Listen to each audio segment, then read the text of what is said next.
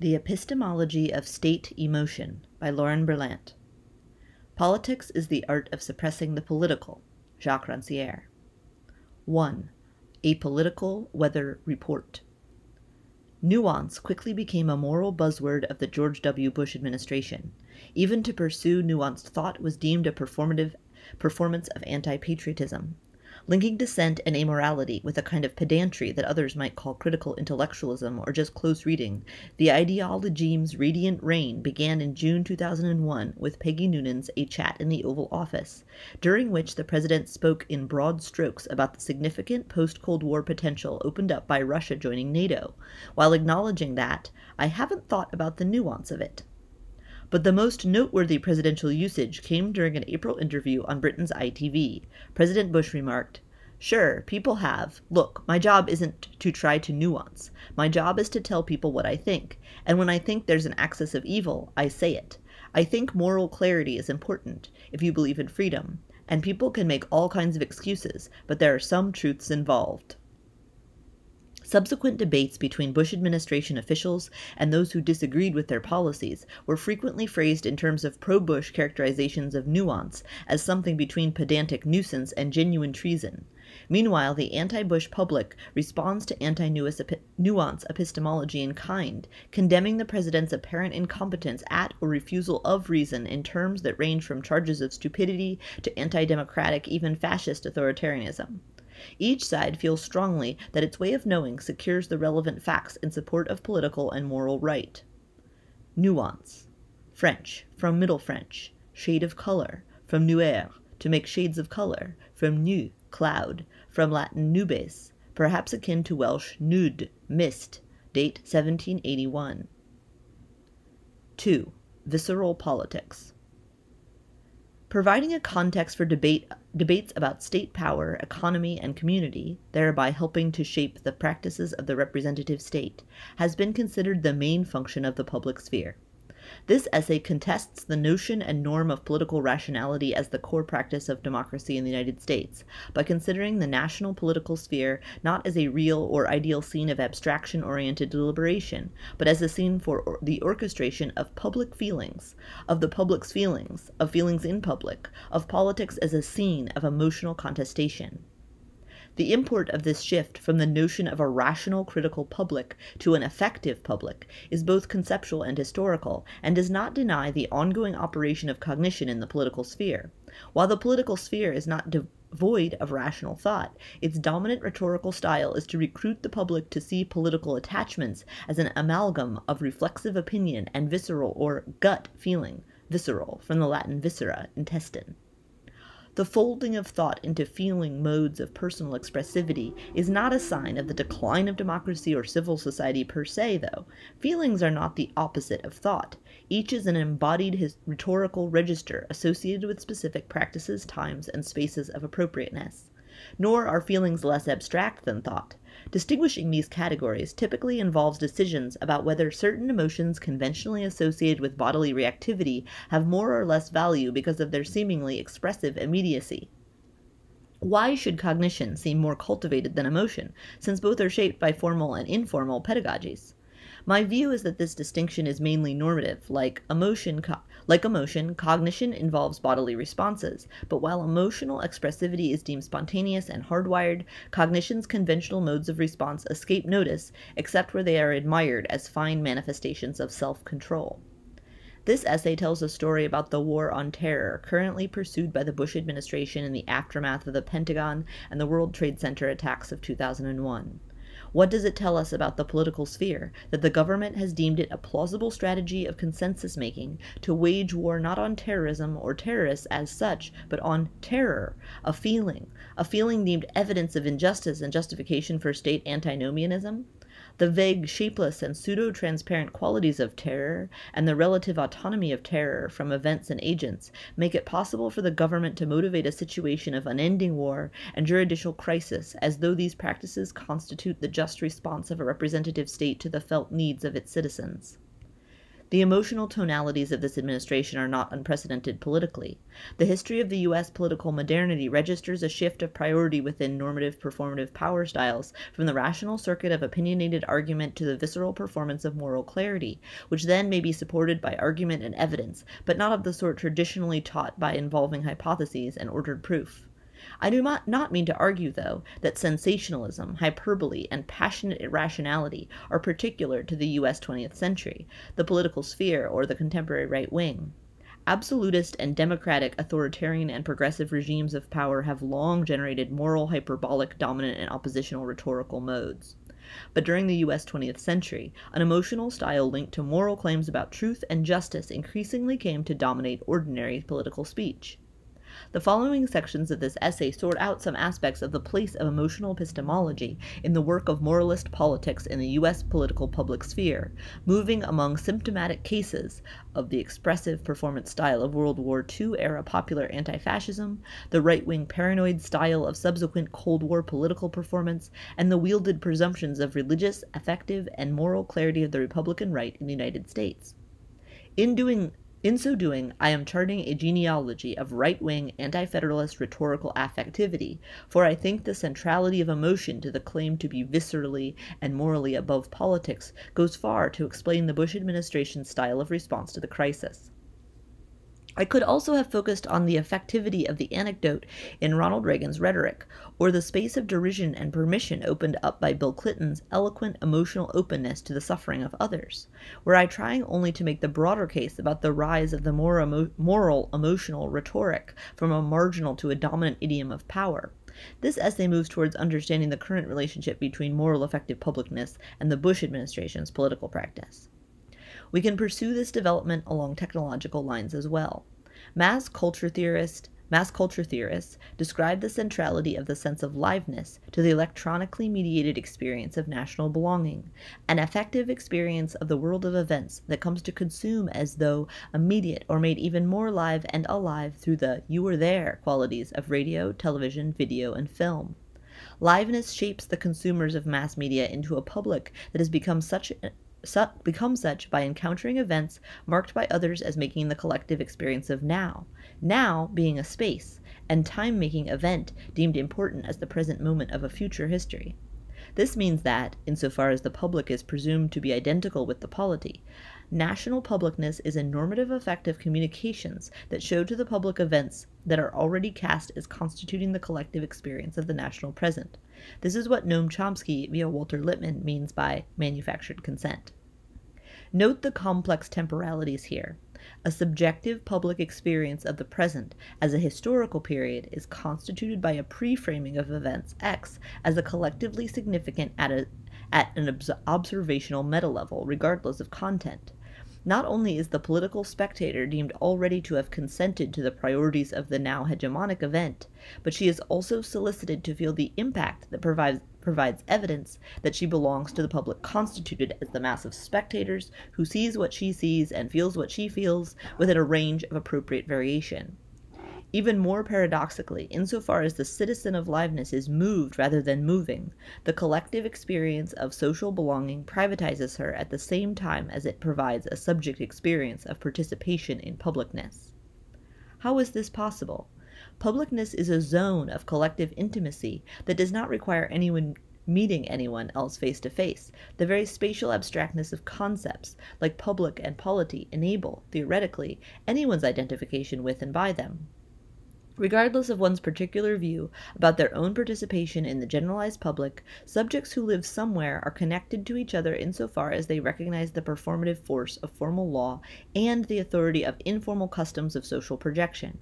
In this sense, publicness requires individual recognition of the juridical constraints on individuality.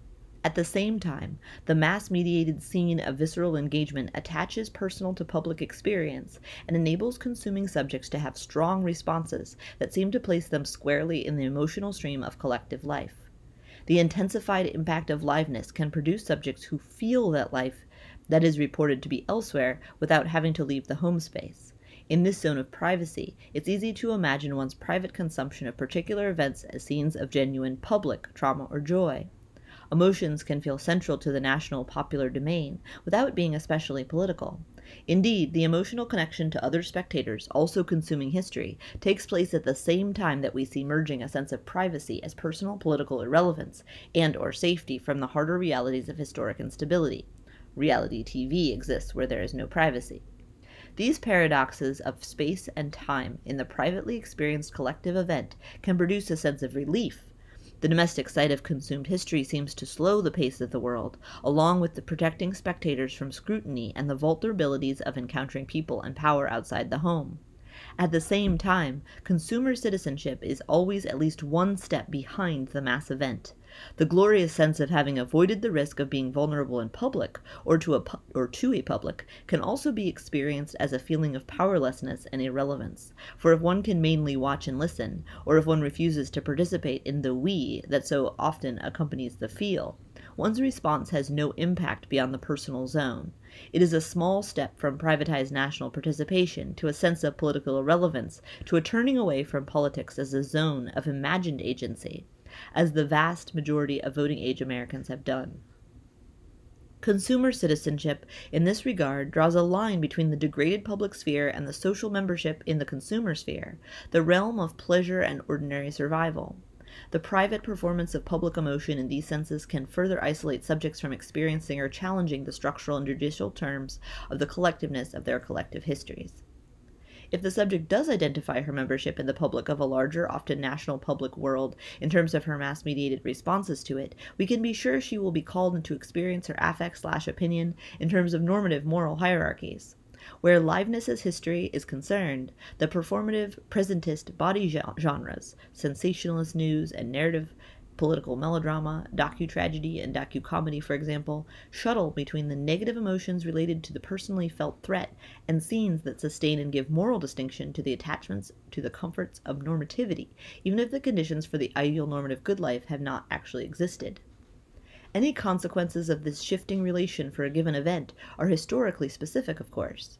But the paradox of the political culture of true feeling, that the experience of historical liveness relies on a sense that private visceral activity is at the core of political participation, is especially alive in modern liberal nationalisms. By true feeling, I refer to an argument I've made elsewhere that around 1830 a shift in emphasis with respect to the ethics of the Enlightenment subjectivity emerged in the elite sectors of the United States, which challenged rationality as the core activity distinguishing the human being. Supplanting the universal primacy of human cognition was an image of the person as a subject with moral feeling, and especially with a capacity for feeling and responding to the suffering of the less fortunate, who could be described as others not as individuals but as members of a subordinated population. In contrast to the project of constitutional universalism, which focused on the simultaneity of individual and national autonomy and self development, the growth of the liberal state in response to anti slavery, feminist, and pro indigenous rights activism, among other forces, was an effect of the promotion of the pain capacity as a ground of the human as such. The universalization of pain made a new pathway to citizenship. Social activists came to demand of free citizens a kind of moral cognition that the perception of injustice means nothing without the compassion, and compassion was seen as a public emotion, as a motive for transformative practice. An idea that all subjects were emotionally identical in their pain and suffering, and therefore imaginable by each other, became the basis of arguments for national belonging. At the same time, the coming to precedence of visceral politics required the presumption that certain affective responses come to humans from something like natural law, such that to feel emotion X in response to injustice was to be morally authorized in the political sphere. Behind all this is the Christian religious sense of compassion as a fundamental social ligament. In the Protestant entailment woven through U.S. constitutional and liberal history, this relational affect was thought to bring one into the experience of others such that one comes to understand their destiny as tied in with one's own. Social transformation in this view was not at root a structural event, but an emotional one. One's availability to experience identification with a capacity for experience located inside the subordinated other would lead one to desire uplift or emancipation for that person or population. This sentimental moral psychology became a vehicle for delivering virtue to the privileged, who got to feel good about themselves for having the appropriate feelings about the subordinated kind of person or population. At the same time, unsurprisingly, sentimental solicitation has been an extremely effective motor of social change, challenging and extending operative definitions of the human. As time has passed, a meta discourse about true feeling has developed. During the 20th century, a visceral, visual version of the U.S. political sphere tapped into the spectacular aspects of what Tom Gunning has called the cinema of attractions. Gunning argues that early cinema's grammar of attractions was exhibitionist, articulated around the real as spectacle. The cinematic sign was fundamentally there to be seen and internalized as immediate experience, even if the represented world was far from the one in which the spectator lived, and despite the notions of causality and change so central to what has become the narrativity of classic Hollywood cinema. In turn, television has elaborated these norms of what we might call emotional humanism, relying on the successful broadcast of scenes of intense emotion to serve as lubricant for a particular experience of social belonging, whether in terms of the traditional patriotic national symbolic, the carceral state, a polity of television consumers, or a collective of free autonomous individuals living in a mass mediated simultaneity. This is why the emotional transparency of melodrama is so central to the docudramatic production and dissemination of a generalized publicness.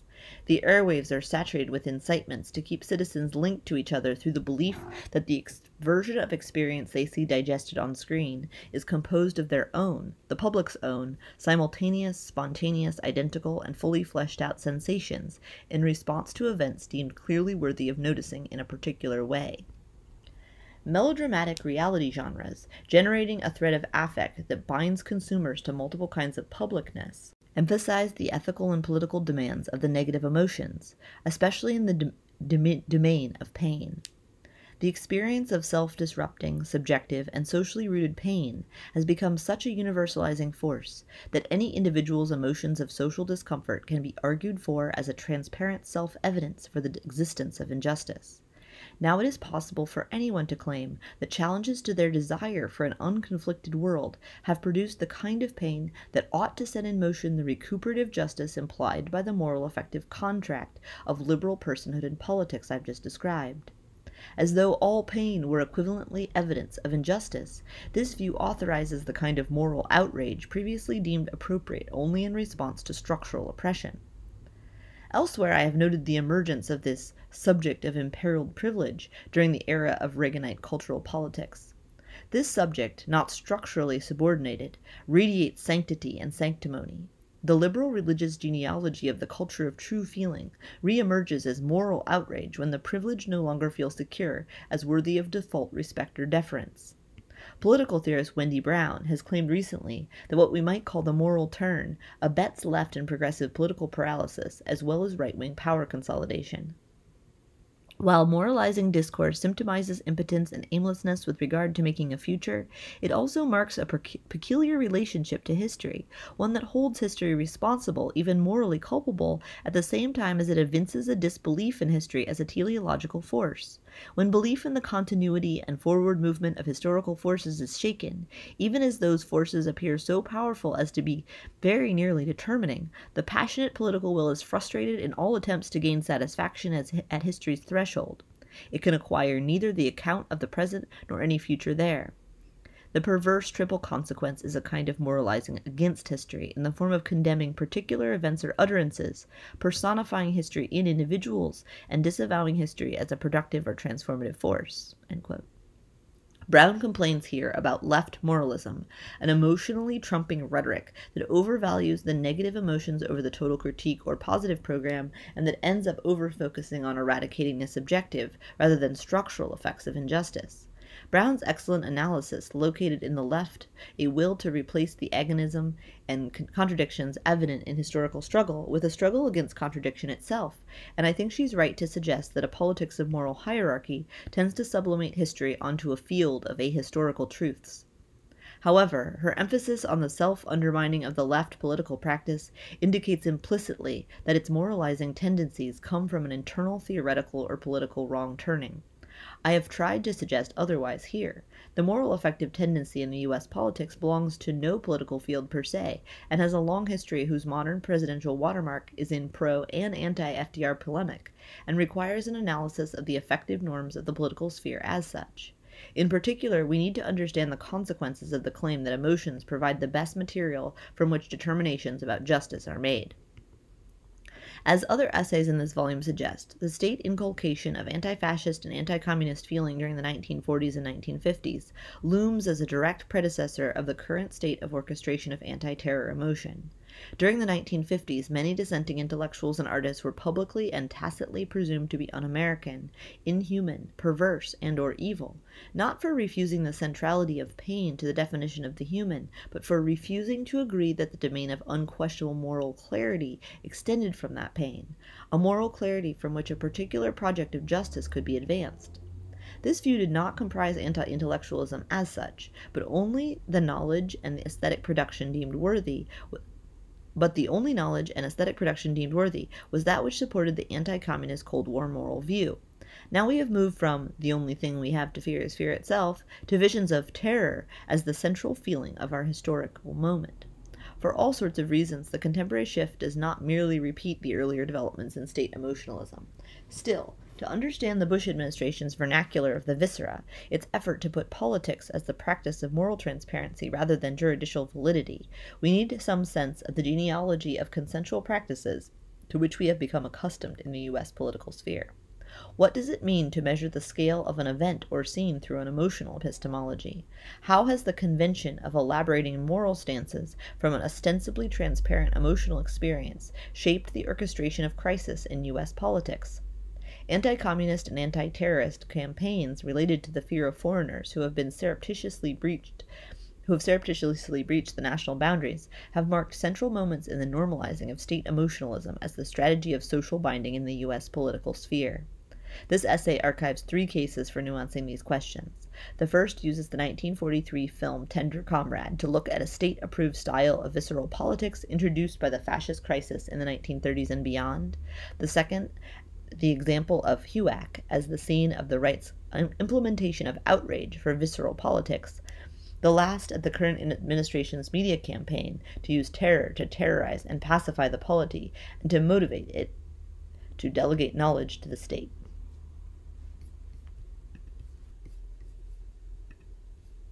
Tender Comrade in the 1943 film Tender Comrade, four women with soldier husbands pool their wages in order to rent a comfortable house in which to wait for their men to return.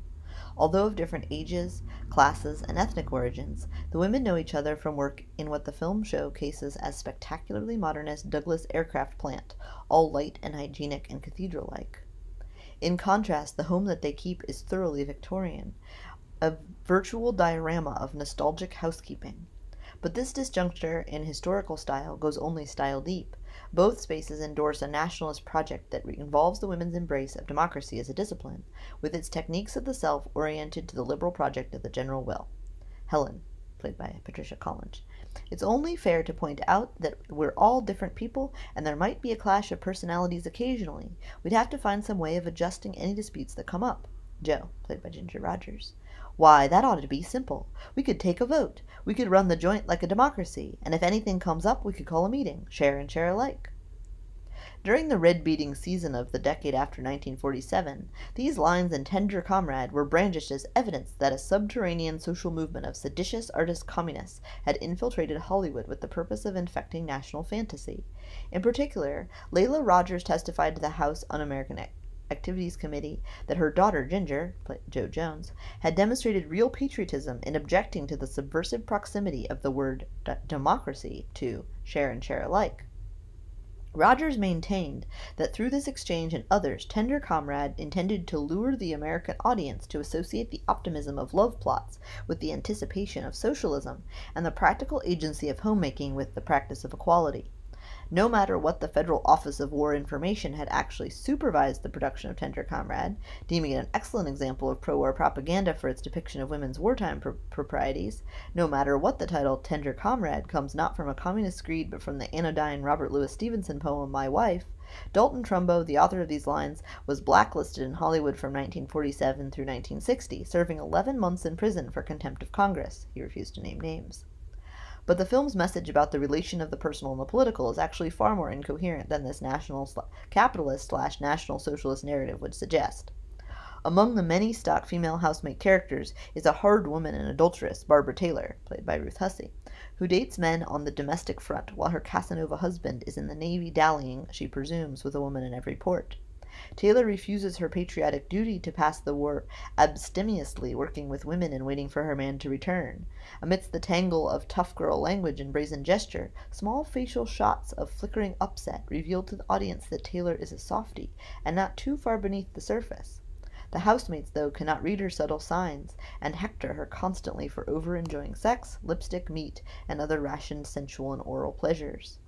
In one scene, Taylor explodes at her housemates for their intensely normative moral orations on the topic of marriage and militarism, and as she does this she dissents from the sacrificial project of a familialized U.S. nationalism. Quote, this thing wouldn't have happened in the first place if we were minding our own business. Even the government doesn't know what it's going to do tomorrow. Blow hot, blow cold, he's up, he's down. What kind of business is that anyway? And while we're being pushed around at home, our guys are out fighting in countries they haven't even heard of for a lot of foreigners who will turn on us like a pack of wolves the minute it's, minute it's over. Jo Jones, Ginger Rogers, the film's equally strident protagonist, responds to her intimate enemy. Quote, you ought to be ashamed of yourself. Do you know where that kind of talk comes from? It comes straight from Berlin. Every time you say, every time you even think it, you're double crossing your own husband. How can we go on minding our own business when somebody blackjacks us in an alley? You got Pearl Harbor on your hands. And who wants to get slick and fat when half the people in this world are starving to death? And of plenty of things you can we can do without. Mistakes. Sure, we make mistakes. Plenty of them. You want a country where they won't stand for a mistake? Go to Germany. Go to Japan. And the first time you open your trap like you have tonight, you'll find a gun in your stomach. You're the kind of people Hitler counted on when he started this war. Talk, talk, talk, and never think. And that's the biggest mistake any guy ever thought of making because there's not enough of you and there are plenty of us. If we were interested in understanding the film's relation to the historical world in which patriotism and dissent are here debated, we would have a hard time gleaning a coherent worldview from either of the women's speeches. Both speeches are patriotic. While Barbara Taylor is clearly anti-FDR, she performs rhetorically her view of this failure to be politically consistent by mixing up her own different dissenting positions, shuttling between isolationist and xenophobic vagueness, along with voicing the indignation of the little guy who resents being pushed around by the big state. Constructed of a rickety pile of cliches, her oppositional vernacular sounds more like an unfiltered blurt than a considered opinion.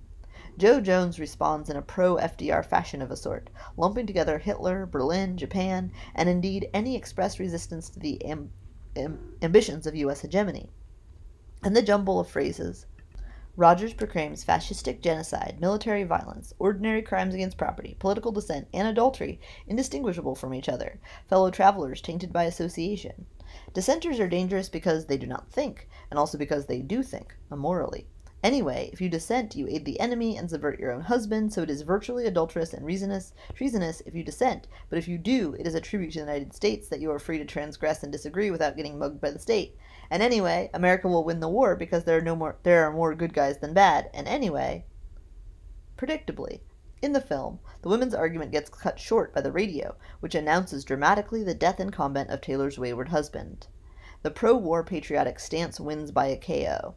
But in the prior moment of polemic vitriol, when all potential impediments to the U.S. project meld into a mega enemy, when the adulterer figures as a marital and political cheat who performs the threatening collapse of social order during a time of crisis, all transgressions seem reasonably characterized as at the same scale and in the same species of treason.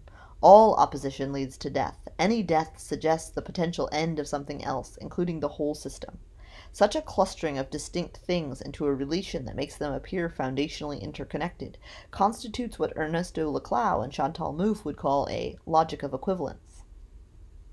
In Tender Comrade, irration irrationally articulated patriotic views take on the sound of explaining the world equivalently well, but they remain untested because resolved by the brutal interruptus of death.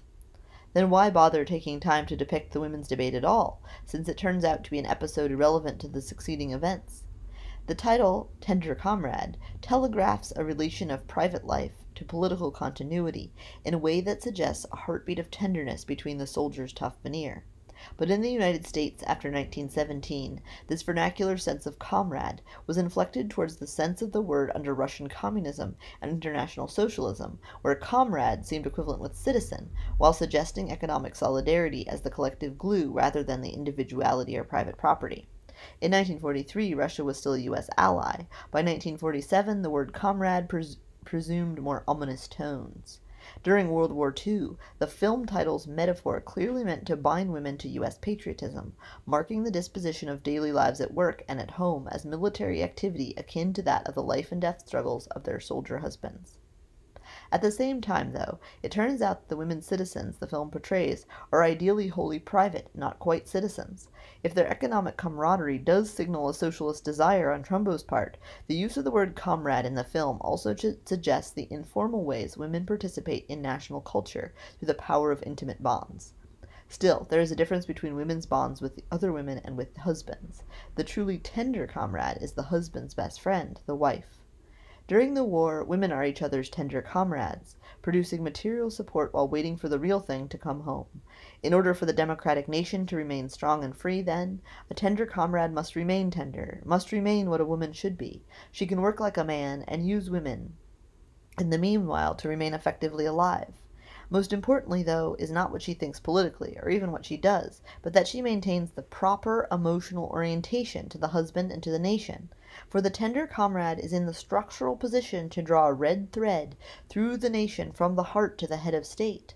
When the adulterous one initiates the collapse of venerated hierarchies of value and order, she violates the social function of marital love ideology, which is to make people experience a legal obligation as an expression of the heart's true desire. To love love is to love the law. In times of political crisis there is no greater love. In these ways Tender Comrade narrates both marital love and patriotism as in a kind of danger that must be counteracted emotionally. In this regard it is a classically liberal text, with its tests of individual good intention. It is also a classically modern text, for a number of reasons. First, as many scholars and theorists have argued, U.S. modernity has been especially associated with the figure of the woman, insofar as her story figures as a material and symbolic problem of distinctly modern appetites and their regulation. Second, the film's relation to narrative is fundamentally psychological, constantly looking for a real underneath the women's surface. This is to say that certain stress is revealed in the system. The aspect of governmentality most salient during and after the war involved in the involved the conscription of citizens not to have secrets, to be transparent to their immediate and national politics. As Michael Rogin and others point out, the communist could not be racialized effectively, except occasionally as the Asian or the Jew. Thus a mass paranoia at the specter of the perversely visible normal was encouraged. Yet while the film promotes a scheme of self-policing and social scrutiny, it is also comically and seriously aware that subjects are never transparent to themselves or to each other. It suggests that because of the unconscious and the ideological, Americans are required to monitor even more intensely. The impossibility of transparency makes these models of citizen psychology incommensurate. Sexuality, with its jumble of intentional and irrational practices, comes to figure the dangers to the state of this incommensurateness. Relevant here is Foucault's claim that a particularly sexualized mode of modern civilization has used intimate relations to make economic, institutional, aesthetic, and everyday practices appear as fundamentally psychological, emotional, and moral emanations. But even if there is a certain broad historical simultaneity to the emergence of the normal in, in the domain of the human, these categories are not identical matrices of explanation. This discussion of Tender Comrade aims to de detail some of the particular political unity of their amalgamation under the rubric of sexuality, seen as that most human thing that disrupts the human. In so far as sexuality denotes the most intimate of social exchanges, it serves as a vehicle for regulating social interdependency and containing irrationality into the process of individuation. During crisis times, the hegemonic bloc, in this case the liberal nation, needs citizens to activate patriotic attachment as though it were a psychological mode. At stake in the prosecution within and about Tender Comrade, then, is a national capitalist depiction of power and justice in terms of moral clarities and emotional comforts, one whose shape changes throughout the 1940s and 1950s, but whose dedication to national hegemony does not. Justice is depicted as a visceral reaction of individuals, and public debate takes the form of a disagreement about whose transparent feelings best measure the evident state of things. The idea that feelings are transparent to subjects becomes ideologically continuous with the moral claim for the clarities of a certain brand of patriotism. Thus we might say that the rhetorical incoherence of the women's speeches supports a patriotic cause not despite but because they are constructed of cliché clusters. In times of real or manufactured political crisis it is especially likely that the dead speech of the cliché will return in its ghostly garb, not only as senseless farce, but also as a genuine and interested attempt to create continuity with the, with the pre-crisis world. In this way, some potentially destabilizing aspects of crisis being managed can be neutralized or even reclothed as stabilities. Meanwhile, marital love, national patriotism, private property, and freedom to dissent can appear to be linked structurally because, as ideological cliches, ways of life that carry normative weight, and in ordinary syntax, they are placed in rhetorical proximity to each other. In this way, German and Japanese aggression can become phrased as an adulterous instance of personal violation, a gun in the national stomach, a mugging on a global scale. The clarity of the cliché cluster converted to moral metaphor claims to express a deeper and higher truth than the surfaces of rationality can provide. The cliché is to moral political rhetoric what the true feeling is to emotional humanism. Together they produce an image of citizen subjectivity oriented around a defensive attachment to convention. This is why anyone who says otherwise, who asks for nuance, or seeks to measure degrees of magnitude, is to be revealed as a dangerous thinker. Mass politics of the twentieth century has witnessed the formation of a mode of political performativity that conventionalizes particular tones of voice as themselves guarantors of the truths that we know emotionally, even if our clarities are tangled up with false intellectual claims by those who dare to brandish nuance in the face of what a moral person deeply already knows. A thinker is deemed threatening when a particular historical bloc needs its view of order both to be taken for granted and to be newly embraced in a kind of recommitment ritual. When nationalists use marital, marital compliance not only as an analogy but also as a mechanism of patriotic solidarity, they seek to establish their view as not merely just and morally right, but also as an ahistorical value that needs to be reanimated in practice. The moral obligations of love do not require the nuance of rational argument. In fact, such nuance is a transgression against the higher truth that anyone interested in truth could see and should desire. In contrast, the dissenting thinker seems deliberately to refuse to acknowledge the moral and emotional clarities a good person would seek. Dangerous thinkers in this view might as well be destroying love as challenging as challenging the state. I have suggested that, in Tender Comrade, the moral education of virtue and subversion is vocalized in political incoherence on all sides. The non-event status of the women's debate illustrates its conventionality, but more than that too. Trumbo decries the early 20th century right-wing degrading process of politics as magic and incantation as intellect in the modern United States. Debate is equally and paradoxically monologic. The political sphere is manifested through the serial performance of one passionate rant after another, at the scale of authoritarian passion with diva-esque sentimental or melodramatic tonalities. Indeed, in the contemporary scene the word rant popularized by the comedian Dennis Miller, has become the predominant genre for the public expression of political opinion. Many other political films manifest the same convention, partly parodically, no doubt, to the extent that mainstream politics is deemed to generate meaningless or predicate or prevaricating prevaricating speech, but also, I contend, because at stake is not the idea being promoted but the emotional threat and payoff performed.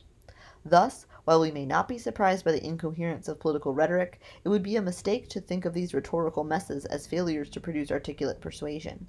The pitting of a moral epistemology against a rational one via the notion of authentic emotion is a rhetorical political convention for the production of what Gramsci calls passive revolution. Passive revolution is a vehicle for producing mass consent to a view as though it were already taken for granted and should need no arguing for. Ethico-emotional performance in the political sphere clearly aims to instantiate such a guarantee. Elaine Hadley has suggested that a melodramatic mode of political speech saturated late Victorian England before the electronic media recorded the grain of the voice, but at the same time that the political sphere absorbed a much larger and more class-diverse polity. She argues that melodramatic conventions of political theatricality were crucial to the political sphere for a number of reasons, two of which seem relevant to this essay's more modern genealogical attempt. Hadley argues that the melodrama was the favorite mode of popular theater in the 19th century England, a popularity that stood in direct contrast with the equally emotional but more elite containments of romantic poetry. Thus, if the 18th century saw political satire as its chosen hyperbolic genre of critique, during the 19th century expanding political participation relied on a more popular genre to mark out the field of power.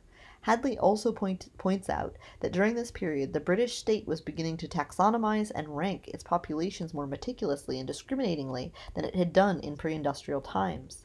The enumeration of populations through census and other modes of categorization can be read as the dialectical other of the hyper emotional political rhetoric that she describes as the melodramatic mode. As we will see, this dialectic is visible again during the Cold War, and at the present moment. The iconicity of the designated enemy is constituted by its supposed veiledness, its open secrecy, whether behind the Iron Curtain, in caves and cells, or through networks of spies and mobile phones. Thus, when historians of the Cold War talk about the ideology of containment, we can read the metaphor strongly as the state will to formalism that also intensified a ravenous paranoia whose epistemological hunger must never be satisfied. This is why, as Ellen Schrecker and others have archived stunningly, universities and entertainment industries were deemed sites of potentially spreading counter hegemonic negativity. It was feared that an anti democratic, anti American ideology was being made desirable through the pleasures of entertainment and the authority of academic knowledge. In response to this fear of left wing magic, the state located affect culture of the United States that disseminated this view took on a bizarre counterintuitive sh- shape. Dating from the rise of the House Un American Activities Committee, rhetorical norms of melodramatic political affect contravened the message of state ration- rationality or coolness. The terror produced by secret insurgents reappeared as a virtually homeopathic threat in the grandstanding of members of the hegemonic bloc, whose actuarial, fictionalizing, and polemical grandiosity is realistically reproduced in the Manchurian Candidate. Images of Senator Joseph McCarthy waving pieces of paper, yelling point of order in a disorderly manner, condense this paradoxical political style. The televised hearings show the range of McCarthy's moral outrage, from passionately emotional tones to understatedly threatening ones. Witnesses arguing for the shame and decency in response were actually confirming that this war for the national political heart was an emotional one. Each side's tonality seeks performatively to enact its claim of emotional authenticity, telegraphing a personal connection to a supra political truth on which U.S. democracy is said to depend. The House Un American Activities Committee. The historian Eli Zaretsky locates the origin of right wing polemical sentimentality in the three anti communist hysterias of the early century, dating from around 1917 1930 and then throughout the 1950s, the period in which HUAC did its most effective work. Zaretsky argues that the right's desire to defeat the New Deal has since organized a mode of hysterical and anti political politics. Red baiting stirs up an image of the fearless, courageous patriot who looks strong by refusing the status quo of soft appearances and tough deceptions. As the shapeless enemy infiltrates the ranks of power, slowly and secretly shifting its norms towards treason and perversion of the American way of life, the radical conservative embraces outrage in all of its tonalities to protect the passivity of the innocent American, otherwise seduced or taken unawares. Appropriately for historians of the present as the liveness effect, the HUAC hearings were the first political trials of the 20th century televised live to a mass audience. In this early moment of you are there visual national experience, in which the state's embodiment in official persons became evident to millions of citizens simultaneously, what appeared was not what Peter Stearns has called American cool, with its bourgeois sense of measure and scale, but a political style of aggressive, conservative affect on behalf of a sentimental national character so fragile it needed guarding by ferocious martinets. While the cause of law and order provided the explicit referent, political style took on a humanist populist guise of visceral emotionality, associating conservatism and proper patriotism with belief in and access to the higher common sense of the deeper human truths. In contrast to the vernacular incoherence of the women arguing politics in Tender Comrade, the political vernacular of political elites during the Cold War married moral panic and rationality. An, accept, an excellent specimen of this idiom of power is available in this HUAC document, the opening sentences of which chronicle a meeting of artists and intellectuals in New York City in 1954. Quote, Parading under the imposing title of the Scientific and Cultural Conference for World Peace, the gathering at the Waldorf Astoria Hotel in New York City on March 25th, 26th, and 27th, 1949, was actually a super mobilization of the, the inveterate wheel horses and supporters of the Communist Party and its auxiliary organizations. It was, in a sense, a glorified pyramid club, pyramiding into one inflated front the names which had time and again been used by the communists as decoys for the entrapment of innocents. The Communist Front connections of these sponsors, as reflected in the tabulation in this report, are very extensive. One person has been affiliated with at least 85 Communist Front organizations. Three persons have been affiliated with from 71 to 80 Communist Front organizations. Four have been affiliated with from 51 to 60 Communist Front organizations. Eight have been affiliated with from 51 to 50, 41 to 50. 10 have been affiliated with from 31 to 40, 28 have been affiliated from from 21 to 30, and 234 have been affiliated with from 1 to 10 Communist Front organizations. End quote. This document, the Review of the Scientific and Cultural Conference for World Peace, stunningly locates long lists of numbers and names along with paranoia about secrecy, front organizations, decoys, and other modes of false entrapment technology. Celebrities and intellectuals on the left are defined as soldier aggressors in a culture war who fight dirty by deploying the higher and lower pleasures, excess measured by the nth degree of resistance. In this mode, the excessive fact list is in the moral truth in contrast to artists' immoral critical reflections. HUAC locates the scale of the event by swinging between foregrounding a potential miasma of anti normative, anti national excess and the stack of hot numerical facts. I have suggested that McCarthy, like many anti communist rhetoricians, was a master of emotional performance. Mobilizing disgust and outraged moral clarity, he marked paranoia as the appropriate response of the just mind to the deviousness of the unjust, and manifested the triumph of facts in the face of the explicit and hidden deceits of the dissenters. The FBI's documents deploy this emotional epistemology as well, and likewise bolster the affect with a kind of taxonomic and enumerative frenzy. What's crucial to understand here is that the hyperbolic state emotionalism and pseudo-positivism are cast as exaggerated to the degree to which the secret invisible dissenters have pushed the state. This is why this is why it has been useful for me to think about the emotionality of our contemporary nation state relation in terms of the prior anti communist moment, then as now an incoherent and skewed jumble of oppositions between patriotic sentiment and dissenting dogmatism, patriotic resolve and dissenting weakness, and the openness of democracy and the secrecy of terror slash communism were mobilized by power elites in the political public sphere. Then, as now, the emotional clarities of the powerful sought to shame out of existence the kinds of open argument and dissent that makes nations live democracies in practice. As now, the suspension of the spirit in the letter of democratic law was deemed not to be a proactive program of constraining liberty, but an emergency suspension of law in order to save the law from secret subversion. Infinite Justice, The War on Terror, and the Fear of Formlessness. Recent work on HUAC describes anti communism as a concern that played a relatively small role in the lives of subjects and citizens who had no access to the kinds of economic and institutional power and influence of political elites and insiders. In contrast, public responses to the attack on the World Trade Center and the Pentagon distinguish themselves through a style of moral psychology more explicitly centered in notions of faith and community based norms. In the public rhetoric that emerged during and after the events, the mix of emotionality and positivism of the Cold Warriors persisted, but this time the orchestration came from the televisual and radio journalists before the state had a chance to pull itself together. One result of this shock of, actu- of actually live liveness is that the emotional tone of the collective response was set normatively prior to any responses in terms of policy. Greg Myers' work on the production of the American Vox Populi shows that it was as though the putative transparency and hardwiredness of emotion was the event, or at least the event the audience could understand, about which we could know first know facts.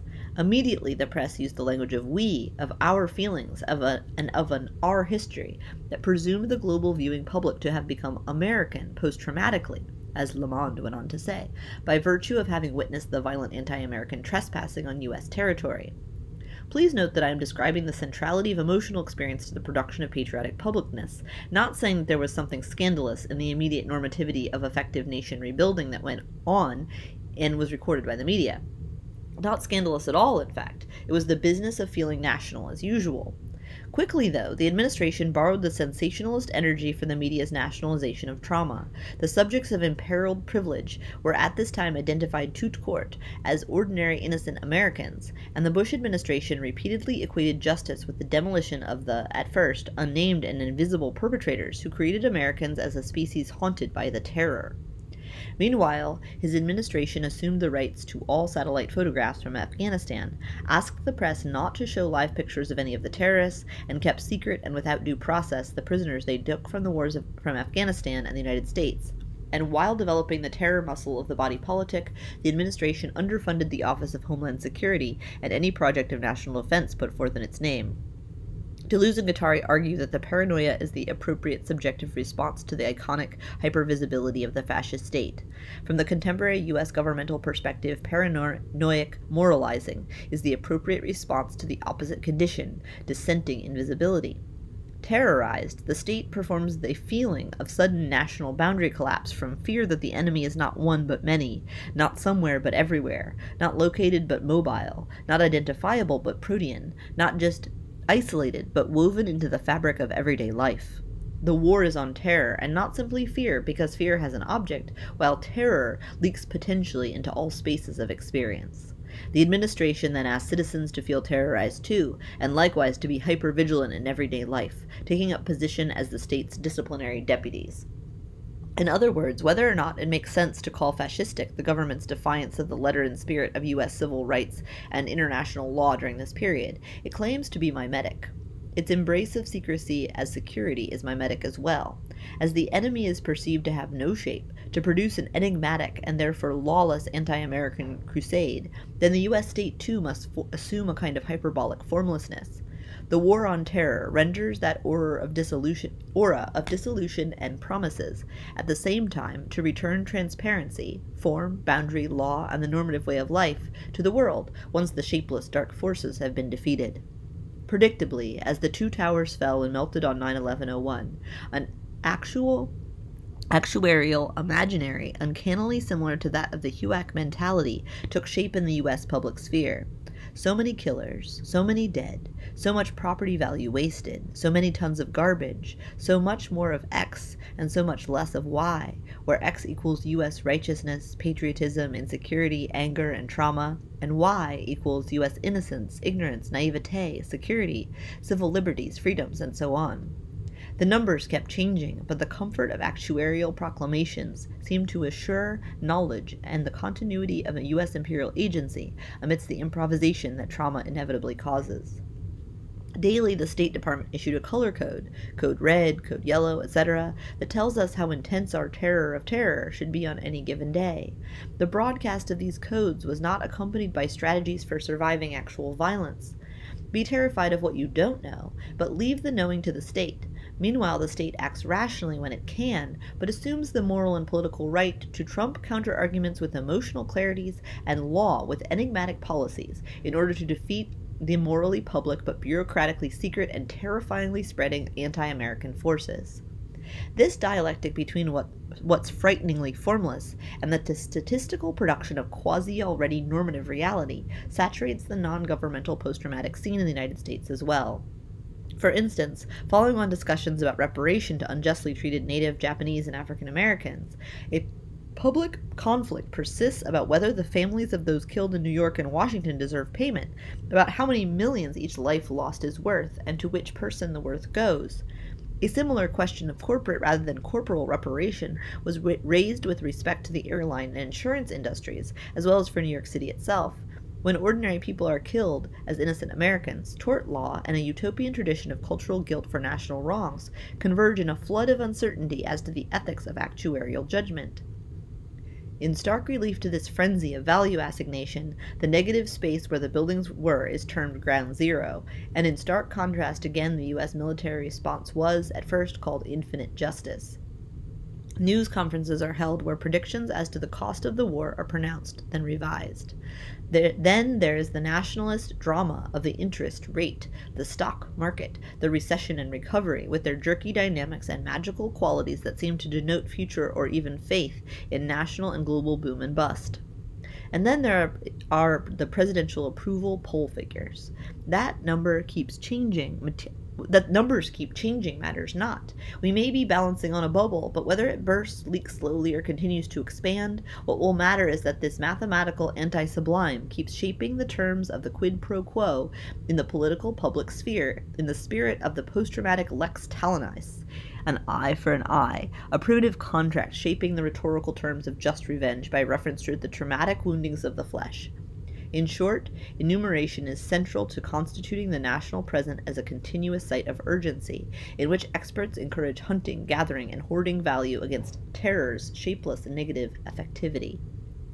Mary Poovey writes that this tendency to name, number, and make accounts as modes of accounting for vast social phenomena is intricately involved with what counts as modernity. Normativity, the statistical ballast for capitalist flux offered up by the consensus and the tax roll, made it possible to draw a line at a particular time slash space called the here and now. In this space, modern identity would appear as a standardized ratio of unintelligible qualities, and the modern state as a set of property relations and reciprocal obligations. Normativity describes the ways that these facts of social being came to seem like social being's foundation, the basis of personal and collective continuity.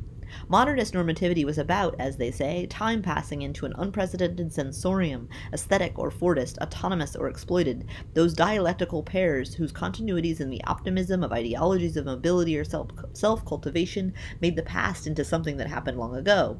In contrast, postmodern geographers suggest that the post Fordist world of the present, also disorganized by capitalist flux, operates according to an unprecedented degree of time space compression and an incitement to speed up a phenomenon akin to liveness.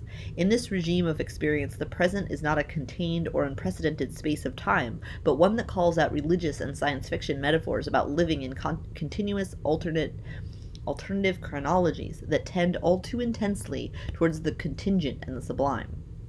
Pasts leak into futures and vice versa in a way that threatens to destroy the capacity to live historically in a material way, leading to intensified problems of survival. I detail three kinds here. First, a powerful sense that power is deracinated, organized elsewhere in some non reciprocal offshore location or in the cave of a shadow government, rubs up against a sense that lived spaces continue to matter more than the power that has no face. This means either that the value of the local is constantly felt to be expropriated by national capitalist slash global formations, or that the local is felt to survive in the authentic habits and habitations of ordinary people, despite the expropriation of their labor value by capital. Empire, or that old saw, the ruling classes. Any point on the local global grid so imagined is, at the same time, a point of political powerlessness and irrelevance. irrelevance that the Bush Jr. administration de- deifies the local in contrast to the national, participates in the affective rhetoric of apolitical and ahistorical moral clarity that the right wing wants to attach to national, national patriotism. The second survival blockage concerns the identity form, or the relation of ethnic, racial, and sexual specificity to singular individuality, often called sovereignty, and often linked with U.S. national identity. At present, and in both directions, this relation of identity, collective subaltern individuality, to singularity, one specific history, protected as individuality by national rights by the national rights form, tends to be marked as a relation of authenticity to depersonalization and violence. Chela Sandoval's methodology of the oppressed most cl- clearly describes this crisis in the obstacles to a critical experience of the present. She argues that what feels like the current threat to the sense of control by the elite feels like the ordinary conditions of consciousness and survival among the subordinated classes. The events of September 11th further intensified the anger of the privileged at being made to feel constrained in their treatment of historical minorities. If we are all, more than ever, Americans, why did the subalterns and liberals insist on creating figures that need not be there? As a result, the structural inequality that governs everyday life in the United States is drowned out in battles over symbol, symbolization, and identity politics is misidentified as an elite movement in contrast to the vernacularity of Anglo American supremacy. Third, this crisis in historicity and social connectedness works well for the maintenance and reproduction of the hegemonic bloc. For the regime where a sense of local cultural and economic ordinariness that feels manageable, resistant to capitalist appropriation, and irrelevant to the political mainstream works beautifully to enable the increasing consolidation of wealth, wealth in the hands of a very few global citizens and corporations. At the same time, this sense of comfortable, contained, and controllable ordinariness can be remobilized at any time as newly vulnerable to a crisis in the present that demands a new citizen sensorium on behalf of the collective or national continuity that protects what has been designated the taken for granted, the social conditions for the experience of that mirage and normativity's naturalness.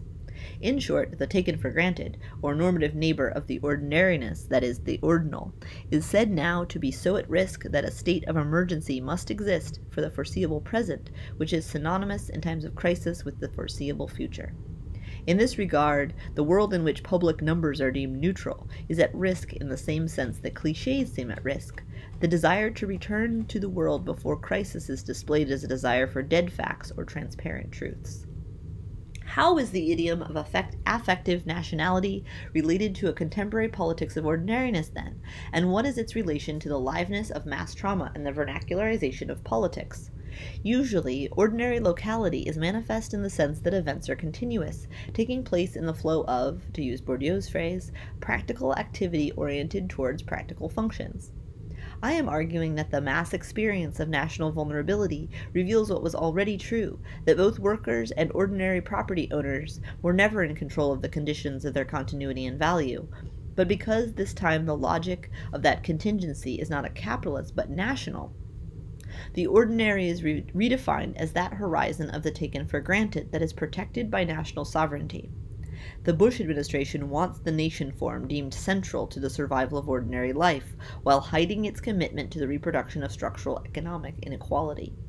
Thus follows the right wing argument that the nation can go on securing the right to feel autonomous, local, self sovereign, and ultimately unhampered by the political only if the administration proceeds unopposed. Tom Dumm argues that ordinariness usually coordinates multiple temporalities that flow into each other as the taken for granted, but which nonetheless are not entirely continuous, but contrapuntal and shadowy. Memory, habit, labor, practice, fantasy, all the processes involved in the reproduction of life, the chaos that might ensue from the jumble of temporalities, is shaped by the ways normative modes of subjective tracking locate continuity in particular cross sections of stories that impact personal and public versions of the self, sometimes to fray their distinctions and other times to insist on them. In contrast, national trauma is ordinariness's other in that it is a sense of experience of enmeshed distinctions, too. At stake in the post traumatic citizenship ideology of the moment is a project of making citizens who actively feel and feel political, but only on behalf of their future reprivatization. National sentimentality frequently works against the political in exactly this way. The genre of liveness most symptomatic of the depoliticization of patriotic politics is most available on the cable news networks.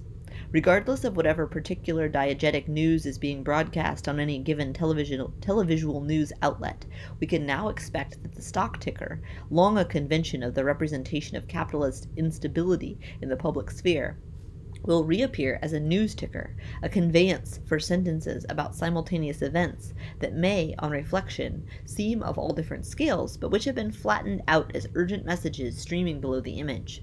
Colin Powell in Palestine is propped next to a baseball score, and succeed, succeeding that is news of the opening of the internet kiosk at the Iowa State Fair, a dog show in New Mexico, news, new news about diet newly nationalized biography becomes similarly factualized. As for six months after September 11th, the New York Times published a daily segment called The Nation Stunned, containing a series of pictures, each decked with a biographical caption describing the ways a given deceased occupant of the World Trade Center was good, loved, and lovable, and had ordinary habits and dreams, and who therefore deserved, after all, to have lived. There was no reason to do a close reading of these stories or the images that they accompany. The scale of this personhood genre made it possible for any reader to identify with these people, who represent not objection or bare life at all, but potential human value unrealized. All of the occupants of that building complex have not yet been so narrated, and the obituarial series has now been made into an occasional piece. The cessation of the imperative to witness daily the value of these lost lives suggests that, from the New York Times point of view at least, it became time for the public to pass into something almost beyond the event, post traumatic, but not quite ordinary in the old sense. Actually, starting from three days after the event, newspapers and newsreaders conveyed the president's view that it was time to return to business as usual, although business would never be usual again. Why did the nation slash state slash media want people to slouch towards ordinariness? First and foremost, citizens were said to have a duty as consumers to bolster the economy that both performs U.S. health and consolidates U.S. wealth in a way that stabilizes its sovereignty amongst nations. This decaying margin, this calendar of convoluted histories, this timeline of territorialized events was sutured to ordinariness almost instantly by both the televisual intensity of September 11th and the insistence that these consumers, after all, needed to vote for American freedom by intense amounts of shopping. New markets in flag paraphernalia burst out everywhere, but most important to the success of the state project was that as the subject reemerged into ordinariness, she or he felt viscerally transformed towards the practice of popular citizenship. Protest was seen as treasonous, but appearing on the street as a typical citizen of capital, a producer and consumer, was given the highest regard. To summarize, at present the political sphere of the United States is saturated by the deployment of emotion to convert the nation from liveness of politics at the to the time of moral clarities that actively trump nuancing dissenting counter-narratives. Along with consolidating national power, this emotional epistemology creates a decaying border where sovereign subjects are hailed to experience an astigmatism in the patriotic gaze, a post traumatic terrorized perspective from which one looks back on a time of moral innocence, acts free in small, ordinary ways, and continues to feel historically saturated by an immediacy now less and less grounded in unusual practices of monitoring on CNN or Fox military violence or the cleanup at Ground Zero. From this fold in time, one remembers the initial impact in a visceral way, but feels overwhelmed by considerations of ongoing practical agency in response to the stimulus of injustice. Those matters have been appropriated by the right wing government, whose aim is to represent the public in a moral emotional way, bracketing representation of the more socially conflictual debates about who deserves what resources. Harnessing public feeling to the moral clarities of the parallel universe where faith and evil battle it out can generate a certain consoling rhythm that makes it possible to count the everyday as the space of survival, shedding a real time social imagination of a better good life. But the end of the count, three, two, one, signals not the end of the bad time, but the beginning of bad time, the polity reeling, or should I say, reeling, from so many technical knockouts that the state abrogates laws, rights, and norms of justice on behalf of its fight against the very terror it foments. Live.